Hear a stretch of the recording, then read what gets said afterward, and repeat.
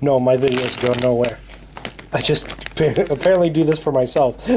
UPC code four seven one one one six two six one zero zero five six. It is lobster chips, but it's more like the Swedish fish of puffy chips. Let's go through the ingredients. Lobster chips, tapioca starch, palm oil, corn starch, salt, flavor agent, Masodium L-glutamate, food colors, yellow number five. What?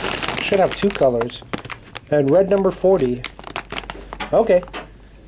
It's only valid for 180 days. By the Hongxing Foods. Wow, they have this really big write-up, which I usually don't see. Okay, it's not... Apparently it has potassium. It has 4 milligrams, but it's not good enough for your potassium intake. Let's go ahead and try these.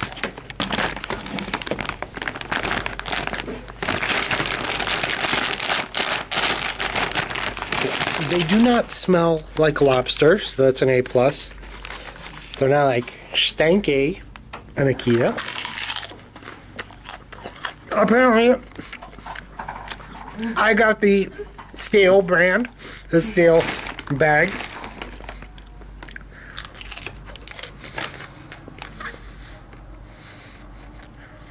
Greasy, melt in your mouth, like those melting puffs you get in packaging.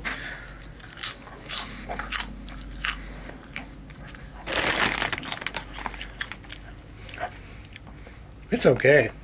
It's okay.